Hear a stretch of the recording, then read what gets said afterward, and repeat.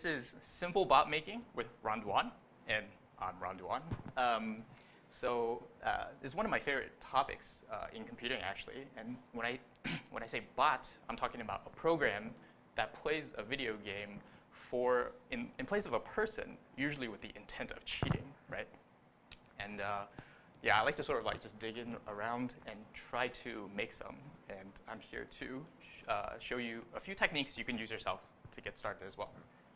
Uh, but before I uh, continue, there's some disclaimer I need to give you. Uh, first off, this is for fun and educational purposes. Uh, I don't advocate cheating, but uh, it's a good way to learn about both the high-level and low-level aspects of computing. But I do have to admit, the charm in making a bot is cheating, so yeah.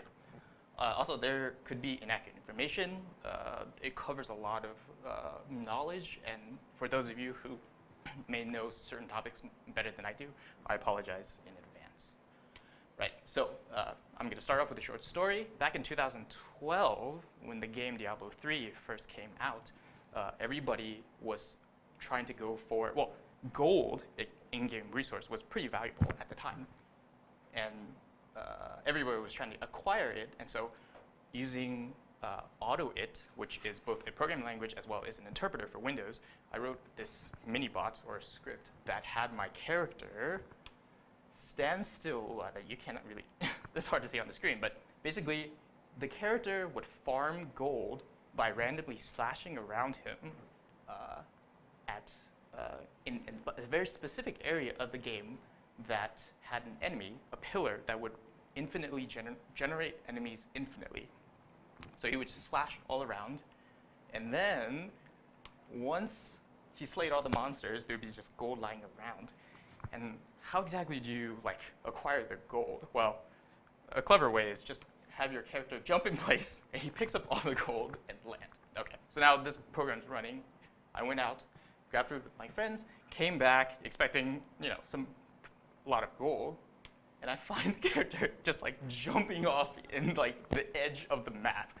Like basically just what happened was, uh, what happened was the program, every single time he jumped, he would just displace a little from his landing position, going off into infinity. And so what went wrong? And how can we do better? Well, it's a problem of input and output. Input meaning the program does not have any knowledge of the state of the game. And to a lesser extent, output, which is the game or the program does not accurately, you know, issue these commands, and certain side effects happen, right? And the displacement was one of the side effects. Um, so before, uh, so we're going to tackle input and output, but before I do that, I need to introduce two topics of computing. Uh, the first one is the process, and I know many of you probably heard this term, but may not have like like realized the formal definition. A process is a program in execution. In other words, it's the instructions of the program with the variables and uh, variables live running uh, in memory, right? And this is the anatomy of the process. Text refers to instructions. Data refers to initialized uh, or uninitialized identified data that the program uses.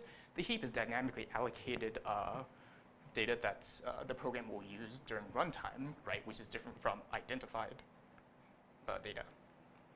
And the stack, which you probably heard of, you get Stack Overflow. This is how the operating system keeps track of the return addresses for functions called and their arguments, right?